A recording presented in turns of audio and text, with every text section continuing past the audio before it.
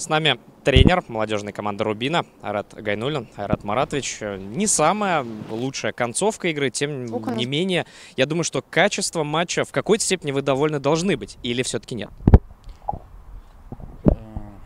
Качеством самой игры э, в какой-то мере мы довольны.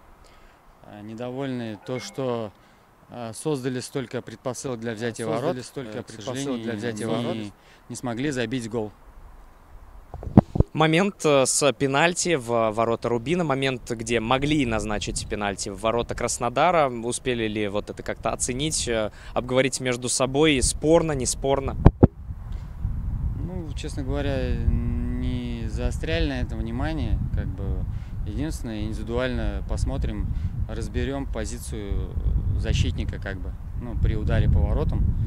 Мы все-таки все понимаем, что в современном футболе сейчас есть ВАР, который любую руку, если она неправильное положение у нее, это пенальти в штрафной площади. Если говорить про сегодняшнюю игру и игру прошлую, с игры не получается забить, и уже не в первом туре. Это проблема, и почему она, и как вот из этого выбираться? Э, Улучшается качество реализации моментов, которые мы создаем. Большое спасибо, удачи вам в следующих матчах. С нами Дмитрий Ус, полузащитник молодежной команды «Рубин». Дим, не лучшая игра для команды по итогам, э, но если говорить про качество, лично ты, находясь на поле, насколько остался доволен не результатом, а именно тем, что вы на поле делали? Ну, я считаю, то, что мы хорошо отыграли этот матч, э, но просто не смогли реализовать свои, свои моменты. Второй матч подряд смотрю, второй раз подряд тебя меняют, причем довольно рано. С чем это связано? Ну, еще физически не готов.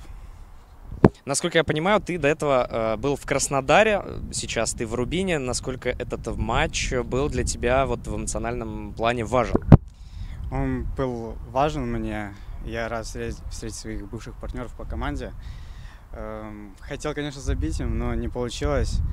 Что я могу пожелать Краснодару удачи. Вот. Дальше больше. Ну и встретитесь с ними еще. Да, и выиграем 100%. Удачи в следующих матчах. Большое спасибо. С нами главный тренер молодежной команды Краснодар Аслан Засеев. Аслан Таймуразович, но хочется ложку дегтя для начала добавить. Первый тайм получился в исполнении вашей команды, наверное, не самым лучшим. Почему так начали, ну, не очень ровно? у нас четвертый тур, тяжелые условия погодные. Это ни в коем случае не оправдание, но в такую жару плюс искусственное поле реально тяжело игрокам. Вот. Я связываю это с этим. Вот. Ну, хочется сказать, что в очередной раз они перетерпели, забили гол и сыграли в защите на ноль. Если говорить про качество игры уже в комплексе за оба тайма, насколько вы довольны тем, что команда сегодня показала, несмотря на вот эти плюс 33 казанские? Качество игры, вы правильно спрашиваете, мы будем оценивать после 8, 9, 10 тура, когда мы более сыграемся, когда э, будем до автоматизма доводить э, базовые вещи, так назовем их. Сейчас на данном этапе, чтобы почувствовать уверенность, да, мы где-то на, на, на качество игры не обращаем внимания, знаем, что через набор очков, через такие ситуации на футбольном поле становится команда. И после 8-10 тура за качество игры поговорим.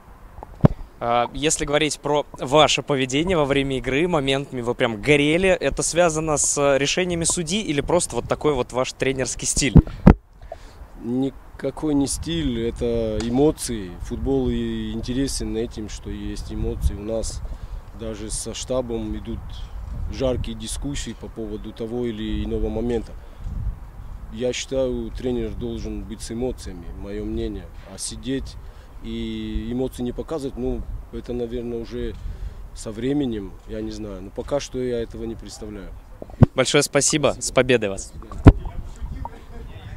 С нами полузащитник Крас- Краснодара Давид Мудрак. Э, Поздравляю с победой, во-первых. Э, Поздравляю с забитым мячом, реализованным пенальти. Вот про этот момент э, с точкой расскажи чуть поподробнее. Спасибо. Ну, чистый пенальти. Игра рукой штрафной. Был удар в створ, тем более. Ну и, как всегда, спокойно реализовал. Если говорить про игру, э, в первом тайме, наверное, у Краснодара не все здорово получалось. Э, На второй тайм вышли и спокойно, как будто вели игру уже первым номером. Что-то особенное было сказано в раздевалке? Э, Чуть привыкли к полю, привыкли к сопернику. Ну, в раздевалке то, что сказано было, не буду говорить, да, ну, понятно, говорили. Вот, и чуть с другим настроем, может, вышли уже. Забили гол, тоже подняло дух это. Уже дотерпели. Плюс 33, искусственное поле. Насколько было тяжело? Потому что видно было, что на старте Краснодару даже мяч порой временами держать было трудно. Да, я думаю, в Краснодаре жарко, здесь еще тяжелее. Еще искусственная поляна, резина нагревается, ноги горят, поэтому тяжело. Но, тем не менее, три очка зацепили, несмотря на то, каким был первый тайм. Второй тайм Краснодар все-таки провел лучше. Вот э, в чем прибавили, на твой взгляд, э, и, и что здесь было вот такого позитивного в игре команды, помимо этого гола, естественно?